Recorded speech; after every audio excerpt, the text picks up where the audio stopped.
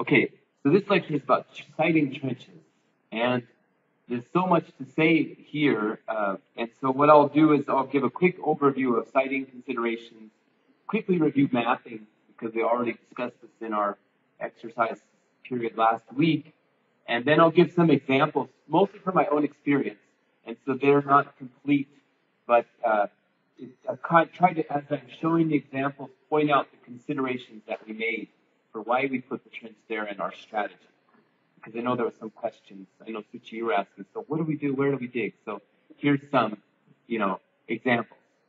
And again, uh, many of the figures come from the paleoseismology book, if they're not from my own group research.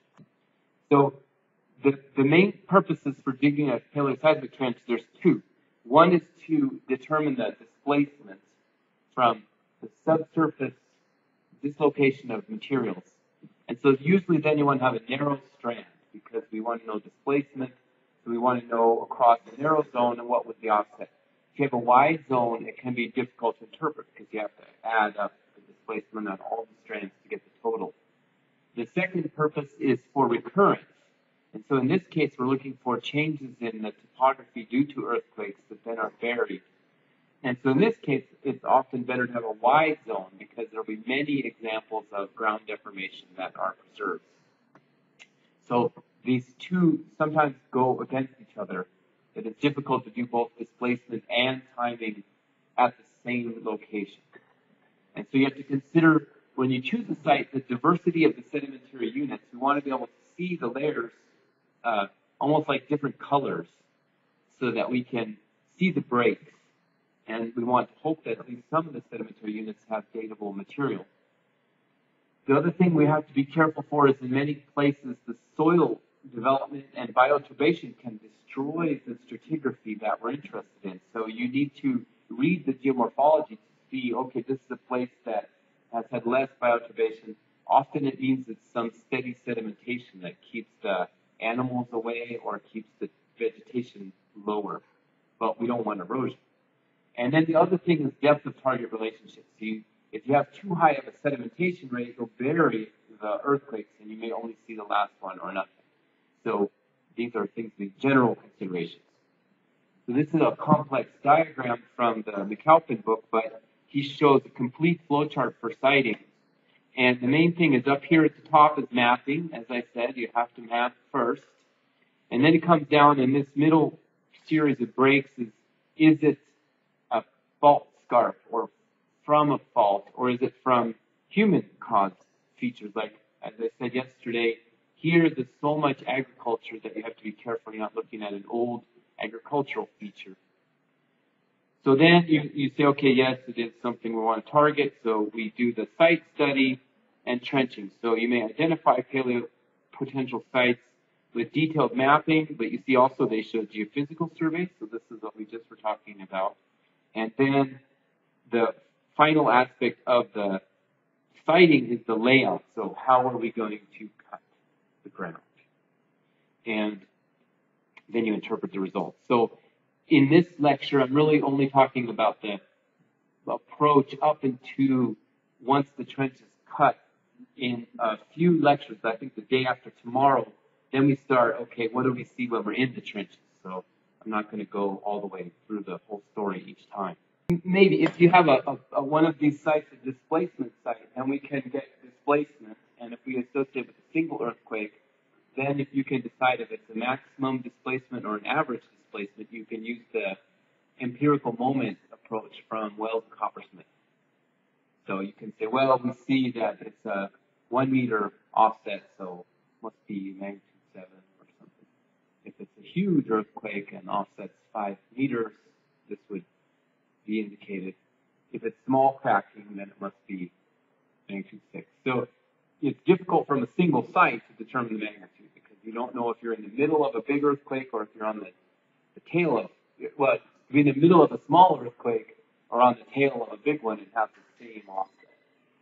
So multiple sites are best for the magnitude interpretation. So just an example of mapping. This is actually for an earthquake study, but uh, from the McCalpin book, he's showing uh, just using a GPS. So he just sets his GPS up and he has like a piece of paper with a grid, and so these are UTM positions, and so he's walking with his paper, and he's saying, okay, I'm here, okay, I can see this crack coming along, and uh, take some pictures, measure some scarp heights, mapping, you know, delineating the a few other features like the scrublands means the some small plants, and then transition from this more strike slip portion of the earthquake to a little bedrock ridge, and so on. So it, um, I think the point of this map is that you don't always have to have a,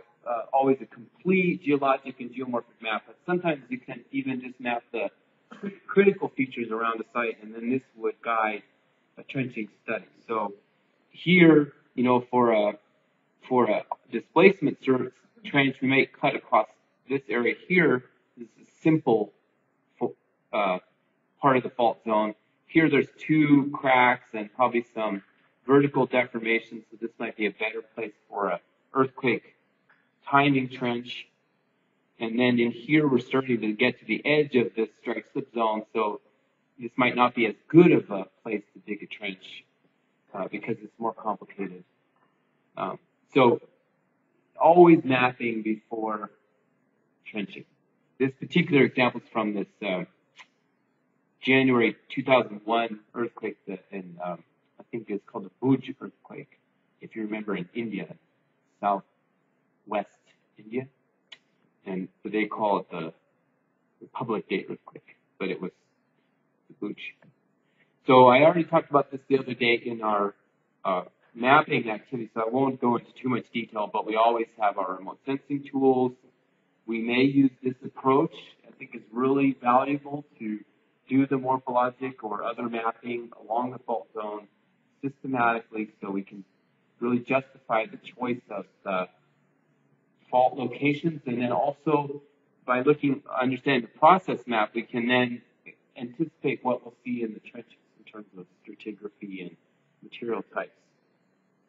So here, for example, is the nice fault map from the Japanese with then, uh, you know, their trench site, for example, right here for context. And then if you remember this uh, photo of the place, they dug a trench across this young alluvial fan.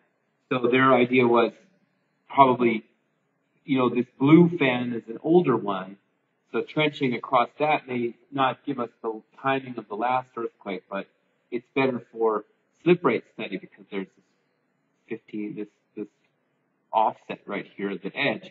But here they could go do some detailed work to maybe look at the disruption of the young sediments in the young fan surface here to uh, determine the timing of the last few earthquakes. So then they present with uh, stereo imagery for the context. So just as an example of the kinds of, uh, you know, these are, are fault scarps that are indicative of young earth, young earthquakes or high slip rates. And so you see, you know, this normal fault scarp, different characteristics. Here, remember you were asking about the wine glass. So these would be the wine glass valleys right here. And so they're more commonly seen on this normal faulting case.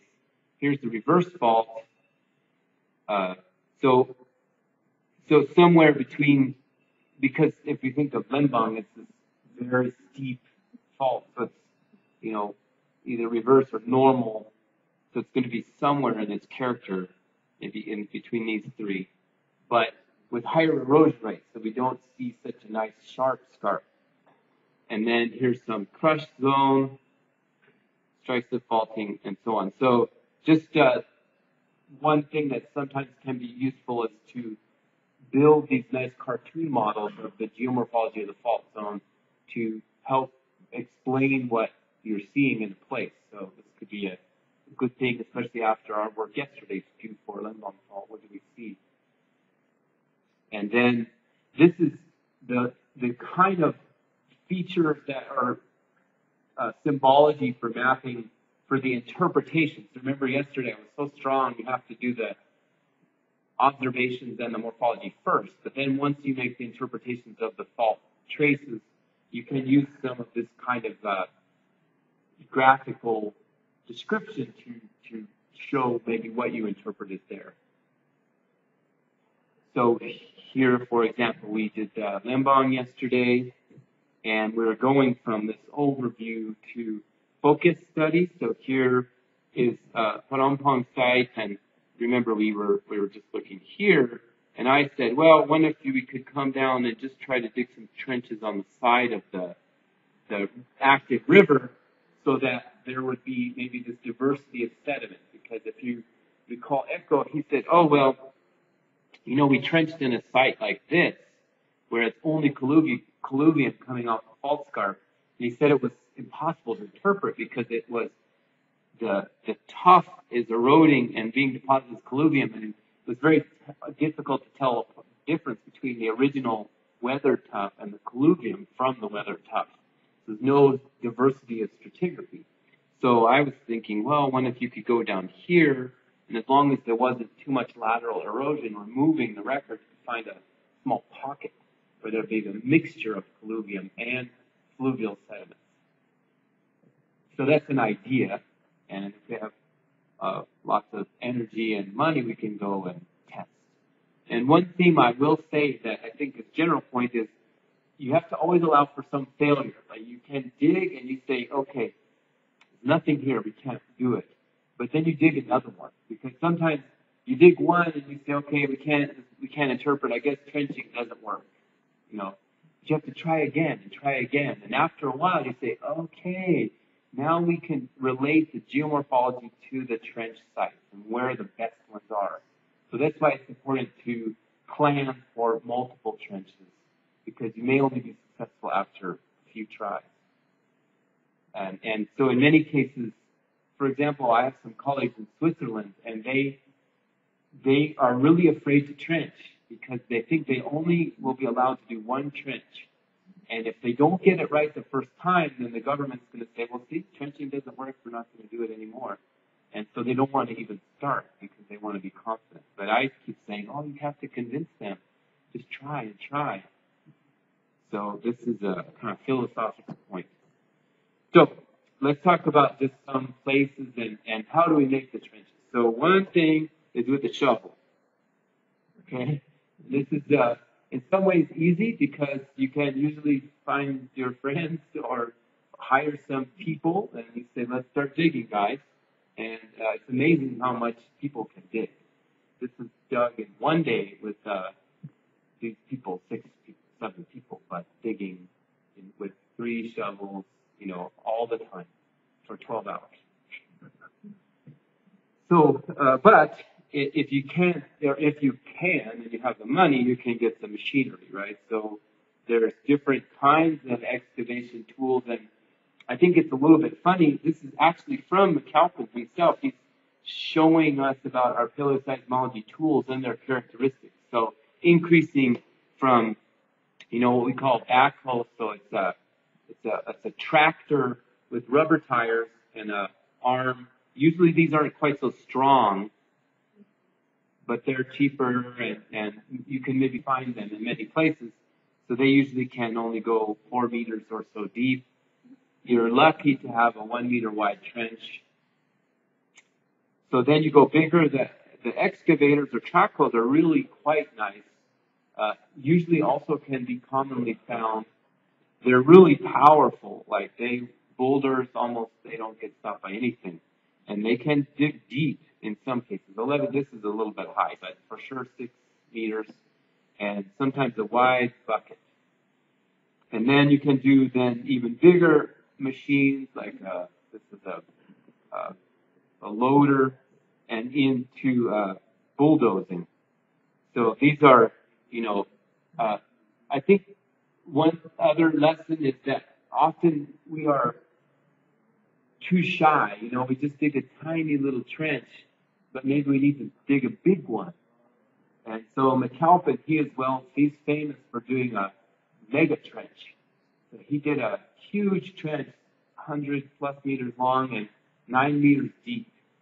And especially for a normal fault, you might want to do that because if every time there's an earthquake and it goes down two meters, one earthquake, two meters, another, two meters, another, two meters, another, he needs to go at least eight meters deep to get four earthquakes. So he had to dig this huge trench. And of course, it's very destructive, right? It's just all, all that material is gone. And sometimes you can destroy the best record. Always have to be very careful about deciding to trench because it's destructive. So be careful, but sometimes you have to do it. So here's some, so it is just general points. I'll show now some examples. Questions? Well, these ones I started with. So are you looking for more of a displacement study or more of a earth a timing study, so narrow or wide? And then how deep do you want to go? And then what is the diversity of sediment? So do we see that there we expect to have a clear record of uh, interacting, interfingering layers that may be offset. So these criteria are the main ones. And then access, of course, are you permitted to be there? So uh, let me give some examples now, and maybe we can discuss the, what was the criteria.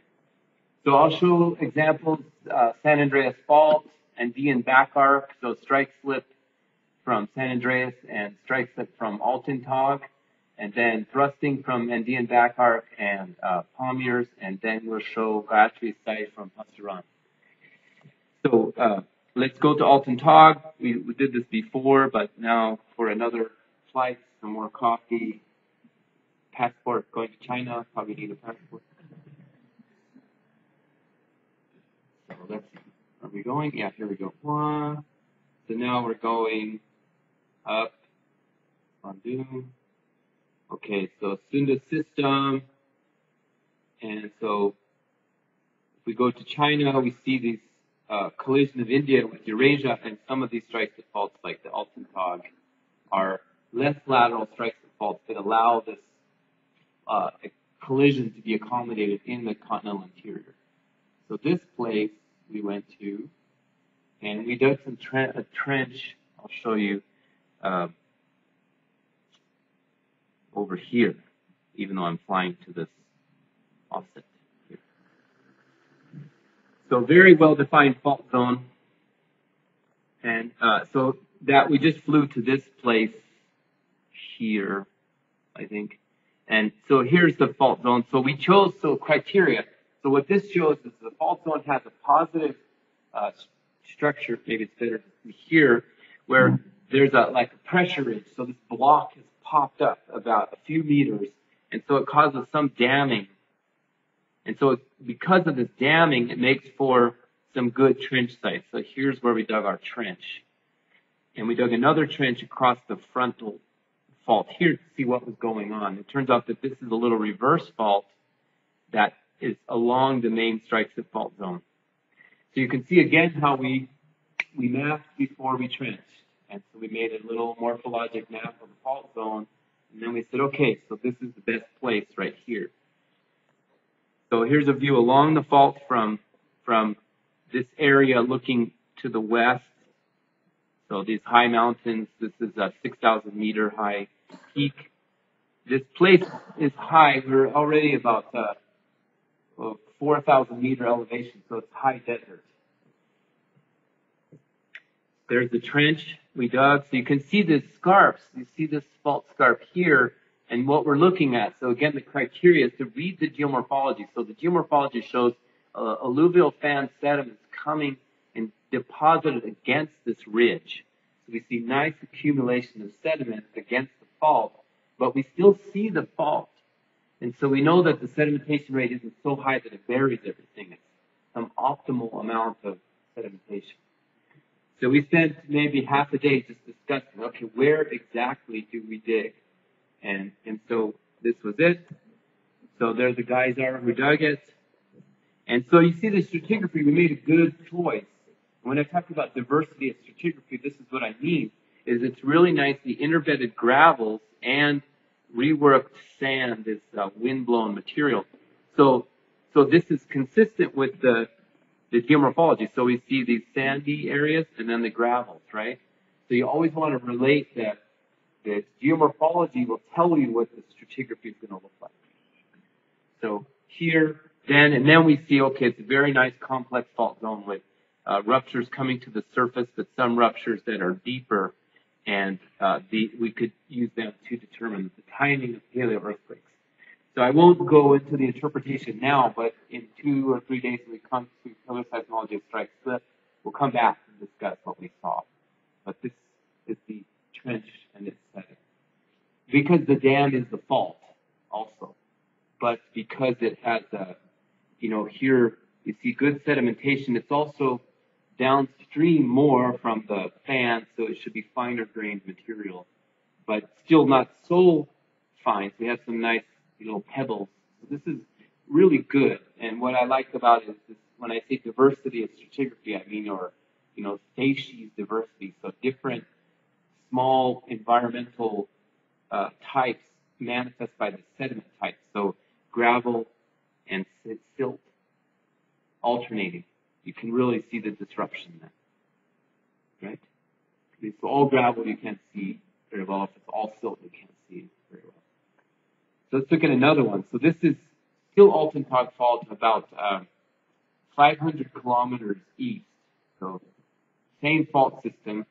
And so here again, you see our, our mapping. We have this trench site on this lake. And so the lake is dammed against the fault scarp. And so here we, we took, a, so our trench we could see in Google Earth actually, which was interesting. And so you can see the fault zone marks coming in. And so here we flew a balloon, or actually a kite. We didn't have helium. Very windy there. So we lifted the camera. And so the important thing to see was the, the strand line means the edge of the lake where the, wind blew some floating organic material. And then also there's this alluvial fan material. So again, we see this really nice interfingering of the sediments. So it makes for good diversity. So here's the site, and let me see. Ah, I don't really have a picture of the, the walls, but we could see in, and I'll, I can show this in the, in the future lecture, but very nice layering was evident. But then in this case, there were one, two, three, four, five fault zones. And if you look at the topography, you could be like, oh yeah, so here's one fault zone, another fault zone at the back, and then two more we can't really see in the geomorphology, but they're in the trench. So another setting. So you see just, you know, that very delicate balance between enough sedimentation to bury, but not too much that we can't find the fault. Okay, so now let's go to, to, uh, thrust fault here. Main Pamir thrust. So this place is, uh, this thrust system here, this, this mountain is called Peak Lenin, the uh, fifth, fourth highest peak in Soviet Union, former times. And this is about 3,000 meters here, so big relief. And right at the mountain front is this active thrust fault. And you see we did this mapping. Again, we always do our mapping first. So this is uh, more quaternary geologic mapping. So mapping emphasizing the young uh, geology, especially in this case, some glacial units coming through and across the fault zone, and then also fluvial units, fluvial terraces. And so here we dug a trench right in the thrust fault scarp, and here you see the the the the, tre- the, the thrust coming through and lifting these sediments up and over the old top of the fluvial terrace. So here, uh, the gravels are evident, showing they're fluvial gravels and they're they're being thrust up and over. But this more wet zone is the the sort of sandy and silty top of this surface where the grass is. And every time there's an earthquake, it gets pushed up and over, pushing out, pushing out. So this is a kind of a site for reverse faulting. So just uh, I'm just going quickly through these to show some examples, but any questions on this? Uh, triangular facet? No, it's a, this is the active fault right here at the base of the topography. But this is an old fault that's maybe um, 500,000 years old, and the the mountain front was there before, and then so here is the, that older thrust right there, and then in about the last 500,000 years, the frontal thrust stepped out, and it lifts. This used to be the alluvial fan, and it was the footwall, and now it's uplifted alluvial fan hanging wall. So it's basin propagation of the thrust. Possible, but not not you can see it, but most likely it's normal faults. That's the easiest because the, you know, you basically take the ridge and you offset like this, so you just make the triangular facet here. Whereas usually when you're thrusting, the the mountain front is breaking, and and also can a lot of times the the reverse fault can uh, flatten, and so it causes extension of that hanging wall, and it breaks apart, and so it won't make as good of a. No, this one's no, this one's too hard. It was too hard to go with geophysics here or in Altyn Tagh, so too remote. Uh, so Altyn Tagh we dug by hand. This one we brought a machine, but it took 24 hours. It was a long drive time with the operator. No, we did not. I have not done very much geophysics. Yeah. Because here it's pretty evident. There was no doubt. But sometimes geophysics is better used when you have some uncertainty. If we could have, we would have, but logistics were too difficult. So in this place, we trenched um, right here is where the trench is. So you can see this little brown spot. So we're actually trenching a, a slightly lower terrace. So the yellow is the higher terrace cut down. So this this terrace here is uh, younger. So let's now we go to the San Andreas Fault, just some more strategies. So this place is called Bidart, and uh, I worked there for a long time, but also uh, a woman named Lisa Grant and Kerry Sieh. They worked there before. So Grant and Sieh. They made uh, this geomorphic sketch map of the site. So fault comes in, steps over, leaves, and there's a, a shutter ridge here, some kind of a positive feature along the fault zone that's doing some damming. You see some alignment of features indicating the, the fault trace.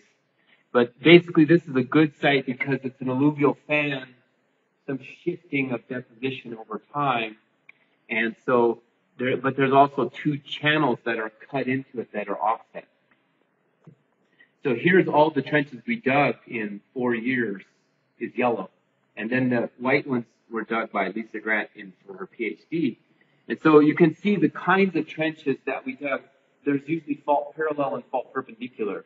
So fault perpendicular locates the faults and often is good for earthquake timing. The fault parallel gives us some sense of the geometry of incoming stream channels. In this case, for strike slip fault, we want to look at possibly offset. So that's the purpose here. This big site here was where we did a lot of our uh, studies for earthquake timing, and then this one was looking for offsets, offset features, or looking for stream channels coming in that then we could track. And then these over here, fault parallel here and here were across these stream channels to try to understand a little bit of their timing when they cut down, because we can see the offset pretty well but we, what, but the timing, we may want to know what the age of incision is. So here is the same place, two years. So you see, in 2007, we had a, uh, and this is from my balloon, helium balloon picture. So you see this excavation. We had one fault parallel trench, and then these are, are trenches that are cut first wide, maybe almost 10 meters wide, and then in the middle, we cut a deeper trench right here. So it's called a benched geometry. And I'll talk more about that tomorrow. So then in 2008, this area was covered already. So you see the filling. And then here's that new long trench we used to try to find uh, features that may be offset in crossing the fault. Here's then a, a view nearby of the these trenches that we dug across these streams to try to understand the the uh, sedimentary and stratigraphic behavior of the stream channels that they're being offset. This picture shows one trench and then another trench taken from about right here, looking at these two. And so you can see this one comment is for safety. You start to see these features here. These are hydraulic shores. So they're, they're, uh, you pump them up and they're basically pressurized jacks that push against the wall every two meters for safety to hold the trench open. So these trenches are uh, three or four meters deep, and so without this shoring, that can be very unsafe. So we always use these shores every two meters. Shore is the name, or hydraulic shore, hydraulic jack. Okay, so any questions about San Andreas? This also shows the evolution of a site. So we may work there for many years and we're slowly building our understanding by multiple cut, okay? So then how about this one? So now let's go to uh, another thrust fault system. This is uh, Andean back arc. So subduction zone is, is here, the main arc with uplifted plateau, the altiplano, but on the back side is fold and thrust belt. So this work I worked with uh, other colleagues, but this colleague Ben Brooks, he was doing GPS across the back arc. And so here's the the GPS vectors. And as you see, they come to this back arc and they're, they're pretty long, but once you cross the back arc, they get smaller. And so what he inferred, or we inferred in this paper, so this is the trench perpendicular velocity across the back arc. So the east side of the system, there's about almost seven millimeters a year of strain accumulation. And so we think it's a locked big megathrust, but in the in the back arc.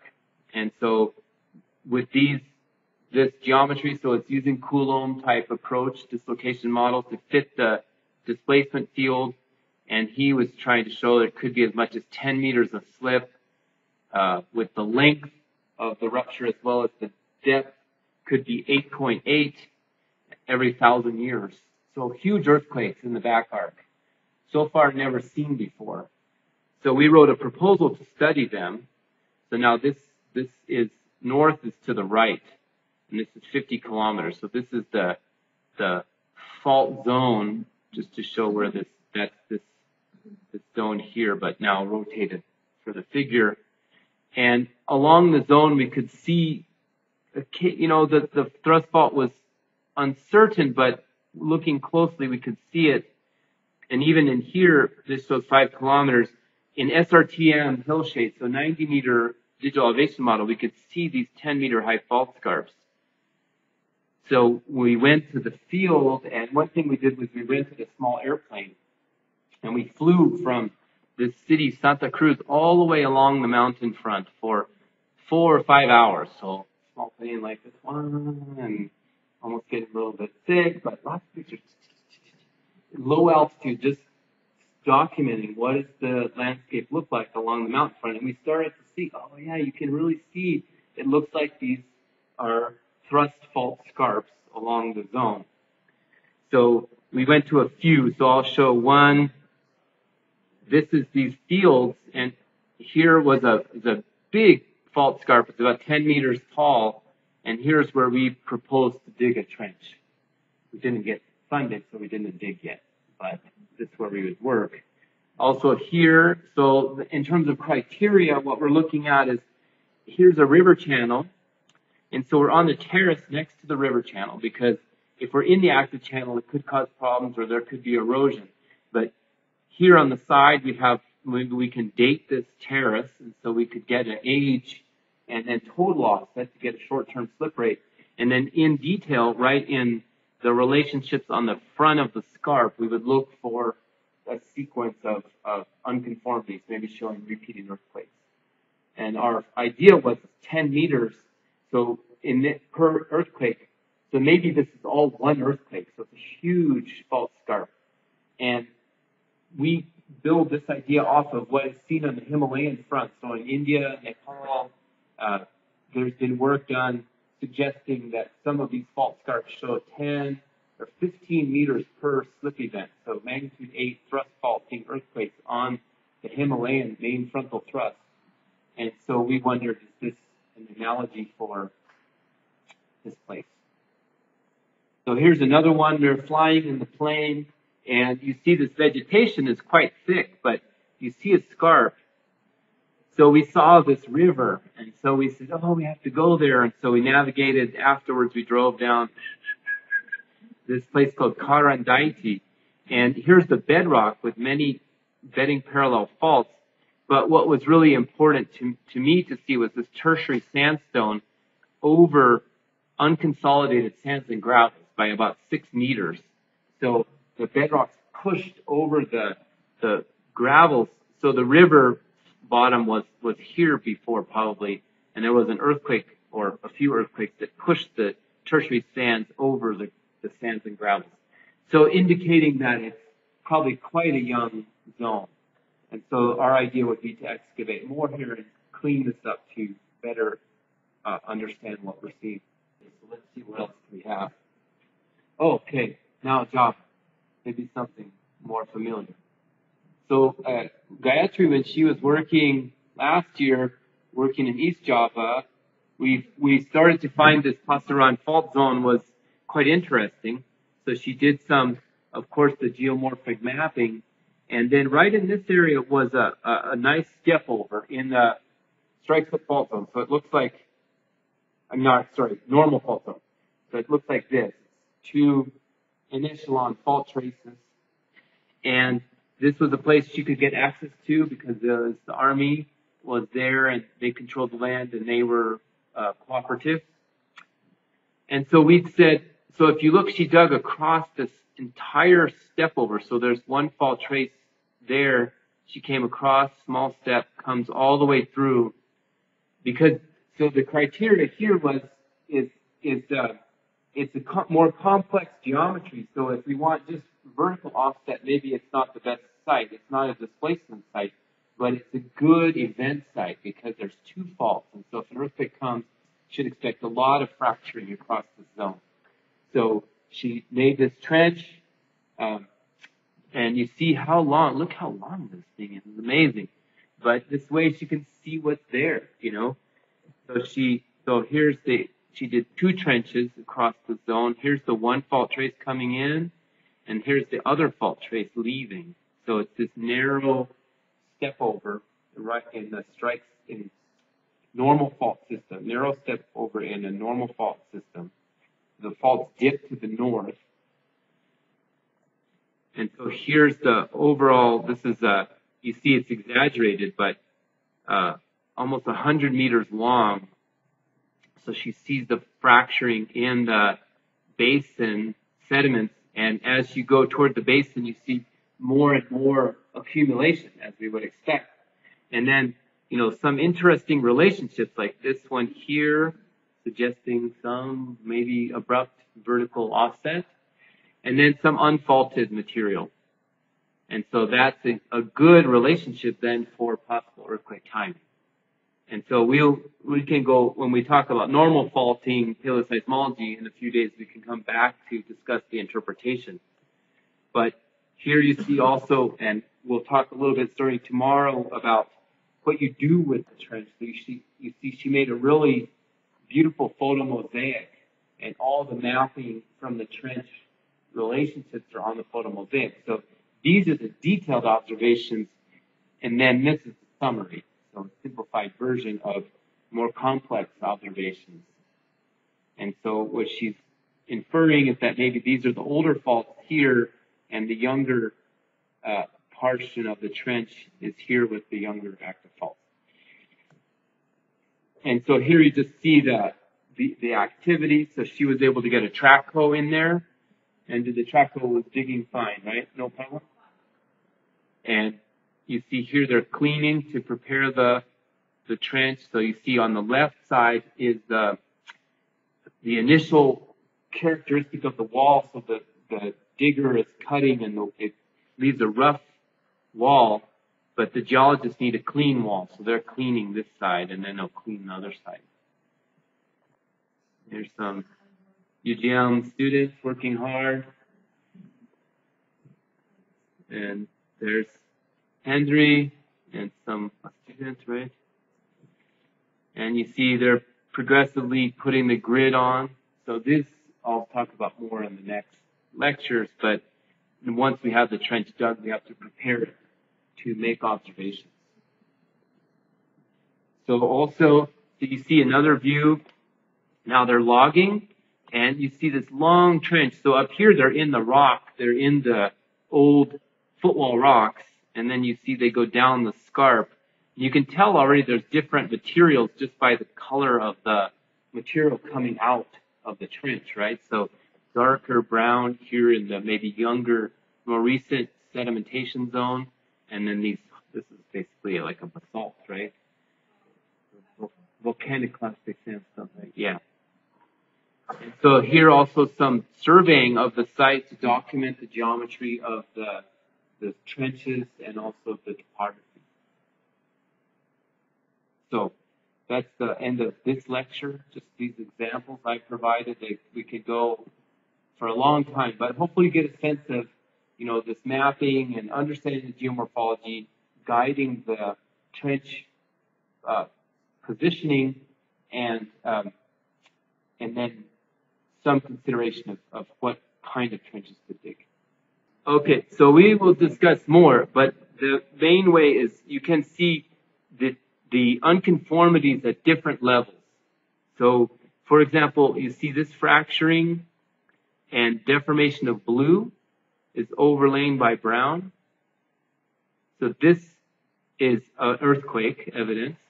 But if you go over here, you say that brown is broken, but then covered by green. So there's a second earthquake. It can't be the same as this one. It shouldn't be because this one's older than brown and this one's younger than brown. So there's two earthquakes. Then if we come this way, we can see, hmm, maybe this gray is, you know, it's well, it's below blue. Yeah. So there would be a third earthquake because this earthquake, it broke up, but it didn't break through to blue. So then blue was deposited, but then blue broke, but then brown was deposited, and then brown broke, and then green was deposited. There's three. And then down deep, it looks like there's a fourth one here that is capped by within the yellow. So, so it's, I would say this is still work in progress, just, uh, but the, after all the description, this is the geologic history of the trench, and what we're looking for is these unconformities. Well, as I was saying before, well, as I was saying before, all we can say is at a point, and you can see here, so this is highly exaggerated, this 18 meters, so uh, what is this about? One meter maybe? 50 centimeters? 20 centimeters. So these are small vertical offsets. Here, here, here. So overall it seems consistent with smaller earthquakes, but it's just one point on the fault. And so if you remember